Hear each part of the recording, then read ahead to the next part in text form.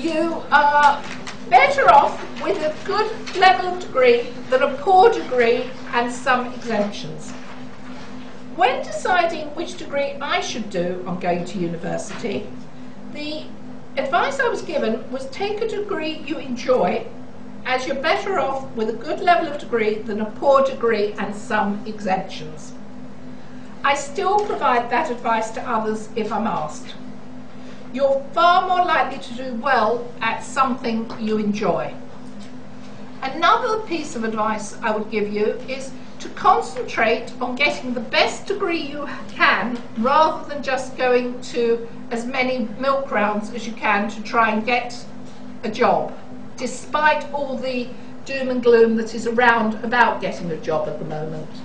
Because if you spend all of your final year at university going to job interviews, you'll get your job offer, and then your degree will fall down, and they'll reverse the offer because you haven't got a good enough degree. If there is still a recession at the end of this year, who knows what will happen even if you've got a job offer if the recession is over, and I think it is over for actuaries, everybody will need more actuaries, and then there won't be a problem getting a job. Uh, which is part of the reason we have chosen to try and have this careers event out of season, because all the companies that didn't recruit last September, because they didn't think they'd need actuaries, we're hoping will have found by now that they need them. So, what can you expect? Actuaries work across diverse industries. And actuaries also often work closely with senior people from other professions or organisations. So we're back to this communication skills thing. With their specialist training and unique skills, they are behind many high-level strategic decisions made by financial service companies and governments. And with variety comes flexibility. So you could have the opportunity to work part-time, abroad or from home, allowing you to adapt your work pattern to suit your lifestyle.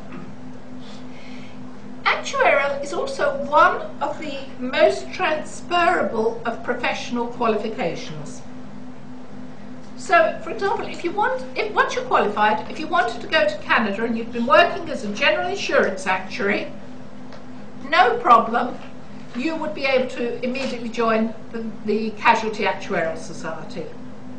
There are not many qualifications like that. If you were a French qualified actuary, and you came over here and you wanted to become a UK qualified actuary, then I believe you would only have to pass one exam and have a couple of years working here. Is Jenny here? Is, is that correct? I think so, yeah. yeah. And I think that there is room for manoeuvre with the transfer of European qualifications the, to the UK, but it's not that difficult.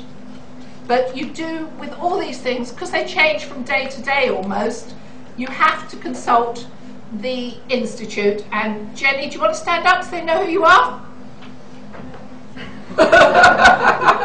you thought you were going to escape, didn't you? Okay. The UK has two professional bodies, the Faculty of Actuaries in Scotland and the Institute of Actuaries in England.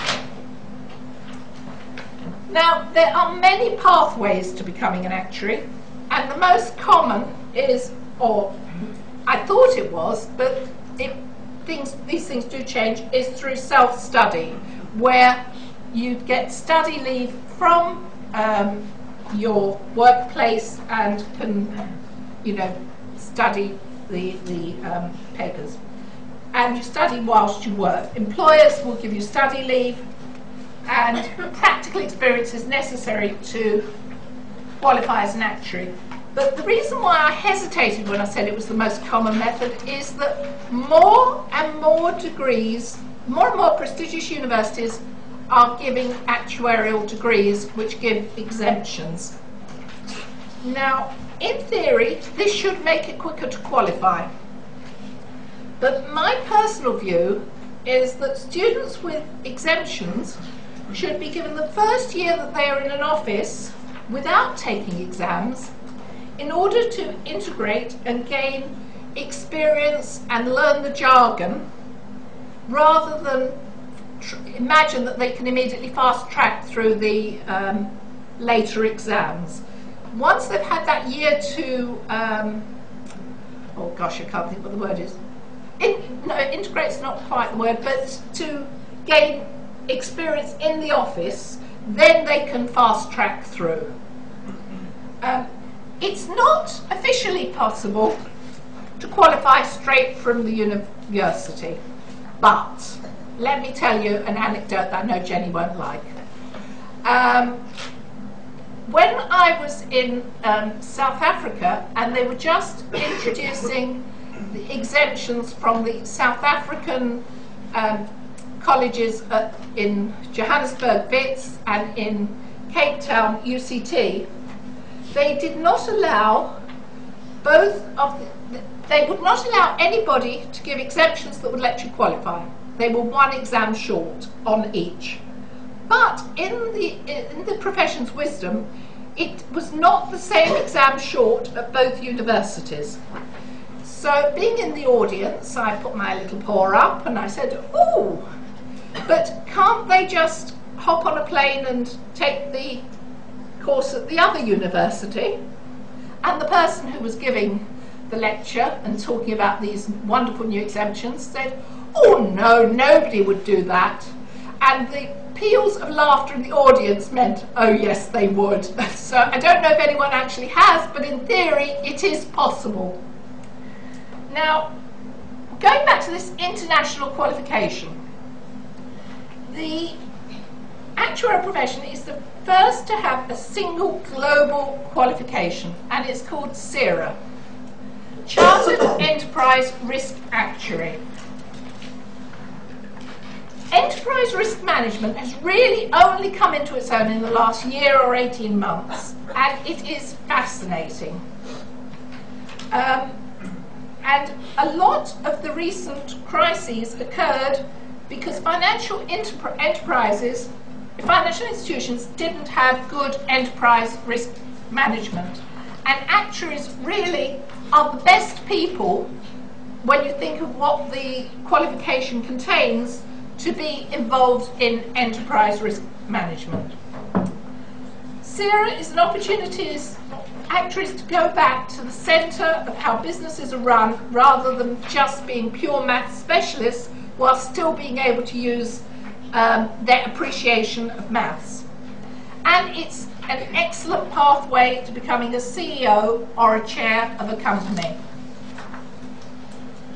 The imperial pathway is, is the MSc in Actuarial Finance, and in my opinion, it combines the benefit of the university route and the um, studying on your own route.